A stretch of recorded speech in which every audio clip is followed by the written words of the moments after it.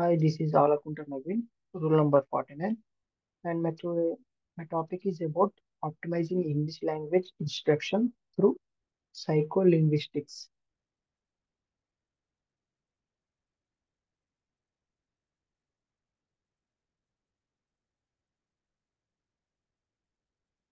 Introduction Understanding psycholinguistics to enhance English language instruction, exploring the relationship between language and cognition.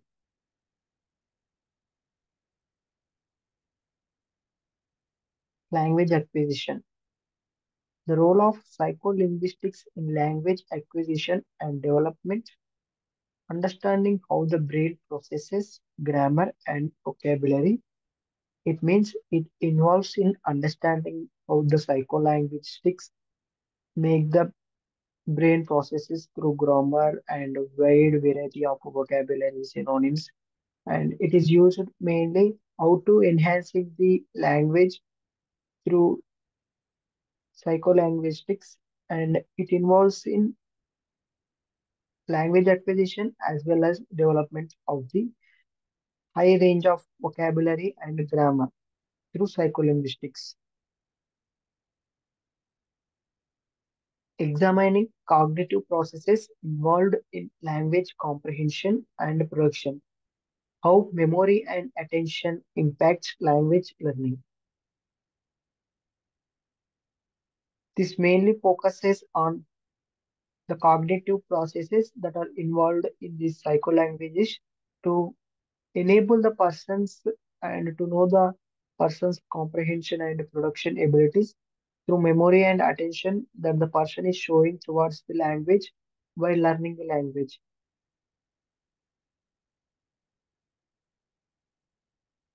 Applying psycholinguistics principles to optimize English language instruction strategies for enhancing listening, speaking, reading, and writing skills.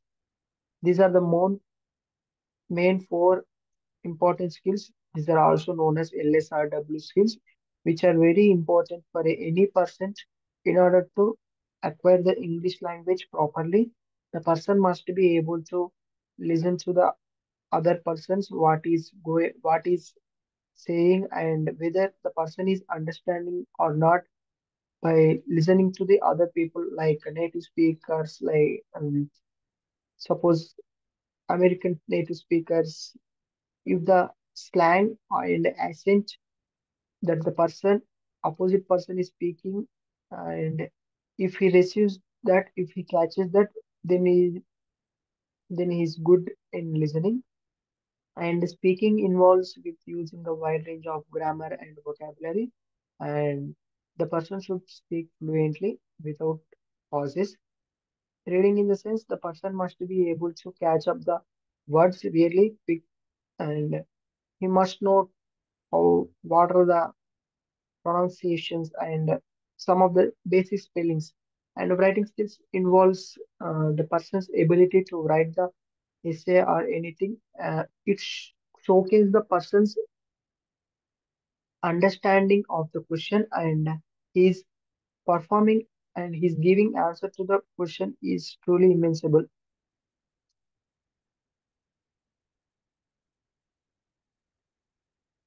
Bilingualism. The impact of bilingualism on psycholinguistic processes exploring the benefits of multilingualism, multilingualism in language learning and cognitive development. This bilingualism involves with the uh, sharing the conversation between two people either by phone calls or face to face. This involves the bilingualism is the conversation happening between two persons Either it may be in uh, phone calls or it may be in person to person.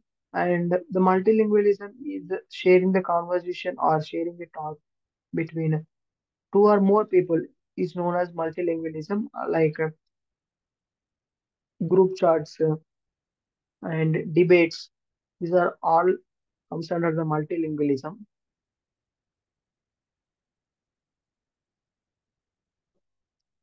Understanding psycholinguistics in the context of language disorders such as aphasia and dyslexia.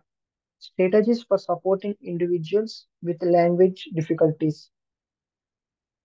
The psycholinguistics involves in the disorders such as aphasia and dyslexia, which uh, causes the person's way of thinking critically and analytically, and it sometimes it causes to the damage and effects to the brain functioning. So the person should be be careful in order to learn this psycholinguistics. Language and culture. Exploring the intersection of language and culture in psycholinguistics, how cultural factors influence language processing and communication.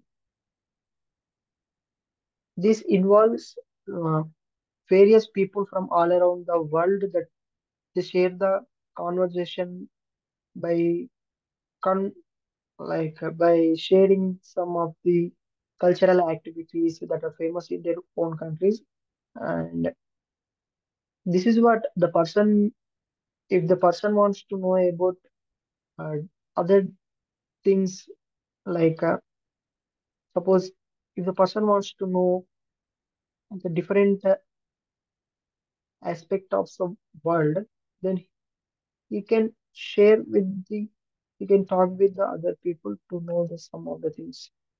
Explore the intersection of language and culture in psycholinguistics how cultural factors influence language processing and communication technology and language learning the role of technology in enhancing english language instruction through psycholinguistics utilizing digital tools for effective language likes learning. Mainly, the UI and UX development is the main key thing here. This involves rapid grow, growth in the technology day by day. It is using various digital tools and many types of tools that effectively communicate the language. Mm, If a person wants to know about the learning the psycholinguistic psycholinguistic language, then there are many types of tools and many types of uh, context available to learn the tools and in the in enhancing the psycholinguistics future directions. Emerging trends and future directions in psycholinguistics and english language instruction. Integrating research findings into innovative teaching methods. These psycholinguistics is day by day grow, growing rapidly in the world and everything is indulged with the 6g technologies nowadays and Each and every application is secured with the authentication processes and as well as as the technology is increasing, the cyber attacks also increasing. In order to avoid this, there are a lot of security tools that are available to protect this and emerging trends and future directions in psycholinguistics and English language instructions, integrating research findings into innovative teaching methods. These are the future directions. Conclusion. Optimizing English language instruction through psycholinguistics enhances cognitive and linguistic development, embracing the potential of psycholinguistic insights for effective language learning. This involves optimizing the English language from native speakers and understanding the pronunciation and accents from them, and it acquires the English language instructions through psycholinguistics that enhances both cognitive and linguistic development, which the cognitive development involves in the analytical skills and as well as critical things, and the linguistic development involves in the problem solving analytics. And this embraces the potential of psycholinguistic insights for effective language learning. Uh, this is the conclusion for this English language psycholing- psycholinguistics